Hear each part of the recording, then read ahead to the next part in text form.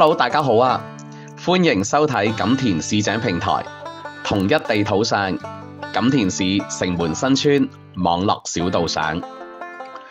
新界原居民一詞，好多香港人都似懂非懂，腦海里面閃出嘅往往都係丁屋嘅建立、土地產權呢啲概念。但係新界原居民嘅定義係咪咁多呢？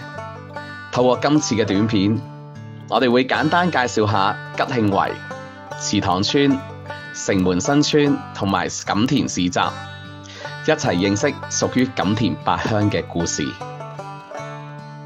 啊，吉慶圍咧係由錦田十八世祖鄧柏京同埋兩名村民咧喺明朝初期咧就喺度咧就建立圍村居住，到而家咧已經係有一千多年歷史噶。嗱，你面前見到嘅护城河啦、牌樓啦、間樓啦，同埋窗孔咧，係喺清朝初年遷界令之後咧係建成噶。到而家咧係有四百多年嘅歷史。吉慶圍嘅建築咧就呈正方形啦，咁咧就有東南西北咧都有圍牆。咁嚟講咧喺圍牆嘅時候咧個圍牆咧係用麻石建成噶，再用一啲灰磚咧係去筑成噶。咁喺個圍牆裏邊咧，你會見到有啲窗孔啦。喺東南西北四面咧，你都會見到有間樓噶。嗱，喺我嘅右手邊咧，你咧就將會見到一個牌，呢個咧就係介紹鄧氏啊呢個氏族嘅歷史。咁嚟講係一個銅牌嚟噶。吉慶圍咧喺英國殖民嘅時候咧，咁咧吉慶圍咧就發生一個事件。咁嚟講咧就英軍咧同吉慶圍嘅鄉民咧喺度咧就有一場戰爭。當時嚟講咧個圍門咧係失去噶。咁吉慶圍咧就除咗一個歷史建築之外咧，另外嚟講咧，亦都係鄧氏呢個氏族嘅新界原村民嘅故事嘅起點。好啦，鄧氏子孫咧喺乾隆期間一七三六至一七九六年間咧，咁咧就喺太康圍外咧就興建咗一個祠堂，就係我哋身後嘅龍友韻全庵鄧公祠。去紀念一位咧，就香港境內第一位嘅進士鄧文慧。咁後來咧，就好多村民咧喺度聚居啦，咁咧就形成咗祠堂村。近年咧就喺新界元朗同錦田一帶咧，係好出名嘅一位商人鄧伯求咧，都係祠堂村人。咁咧佢嘅故居咧就喺村里邊。咁咧鄧伯求咧就係一個成功嘅商人啦。佢精通中英文咯，尤其是英文。咁咧，佢咧係新界上第一位嘅太平紳士。佢最為人津津樂道嘅事蹟咧，就係幫助吉慶圍同太康圍咧，就向英國政府呈請，幫佢哋咧就取翻呢一個圍門。咁咧，鄧柏球先生嚟講咧，佢佢除咗利用佢嘅影響力啦，咁咧佢咧就去幫助佢個家族鞏固佢嘅事業啦，同埋福蔭後人。佢幫助咧就籌辦鄉議局啦，咁嚟講咧就成立商元朗商會咯，咁咧就籌建咧就係啊博愛醫院啦，同埋咧係建落學校。鄉議局咧就係幫助咧啲鄉民咧去喺去收購土地嗰時候咧，就幫助佢哋咧就去爭取個權益咯。建立鄉議啊，建立博愛醫院咧，就係去幫助鄉民咧，提供一個優質、優質先進嘅醫療嘅服務咯。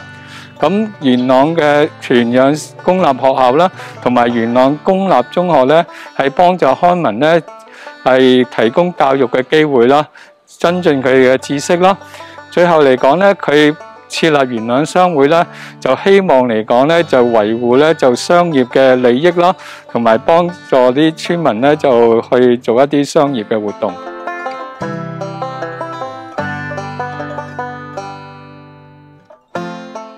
好啦，嗱，大家我哋而家咧身處咧就喺城門新村入邊喎。城門新村本身呢條村咧，其實係位於依家嘅荃灣城門谷入邊嘅。咁當年咧喺一九二九年嘅時候啦，因為要起呢個城門水塘啊嘛，咁啊跟住將呢條村咧就搬咗過嚟呢度啦。咁當年咧搬村嘅過程入边咧，政府咧係冇賠一啲農地俾佢哋嘅。咁當時嘅賠償嘅形式係咩咧？就會賠喺呢度會起一啲屋俾佢住啦，即係建建個房屋俾佢啦。另外咧喺個農地入邊咧就會用現金嘅形式補償俾佢哋嘅。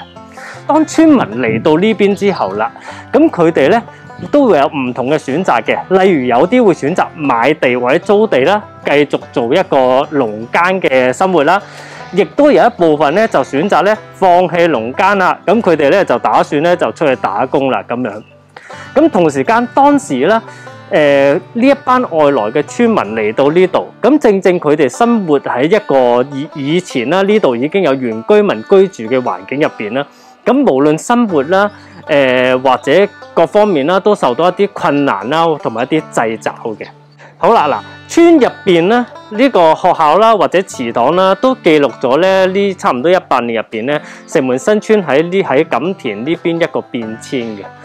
咁誒、呃、當然啦，亦都保留咗啦。一九二九年當時咧，政府俾佢哋一啲房屋啦，最原本嘅樣樣貌啦，亦都會有喺度嘅。咁誒，從呢一班百年嘅鄰舍入邊啦，喺佢哋嘅誒搬村嘅故事啦，或者係佢哋嘅發展歷程上面啦，或者喺佢哋生活嘅種種問題上面啦，咁其實正正咧，俾我哋見到啦，咁其實我哋值得係考慮。或者值得係重新去諗一諗，究竟新界原居民嘅定義其實係點樣呢？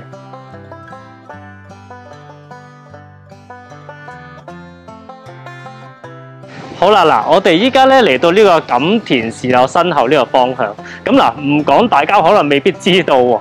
錦田市咧，其實存在喺呢度咧已經有八百幾年嘅歷史噶啦。咁其實以前咧講緊誒元朗一帶都未有墟市嘅時候咧，呢度已經成為咗一個墟市啦。咁啊，直至到後期啦，誒呢個城門新村搬咗過嚟之後啦，咁佢哋亦都喺呢度啦擺墟啊。當時嘅墟市嘅日子咧就係定為呢個二五八啦。咁城門新村過埋嚟之後咧，人個人口啦、村民啦各方面多咗啦，亦都會喺呢度啦，咁啊開多咗鋪頭啊，咁久而久之就聚集咗一個比較大少少嘅墟市喺呢度啦。咁啊，亦都同樣道理啦。咁久而久之咧，城門新村一個外來嘅村民啦，叫做一班外來嘅村民啦，嚟到呢度同當地嘅村民之間咧，可能正正喺呢個墟市入邊咧，接俾到佢哋一個共融嘅空間佢哋嘅。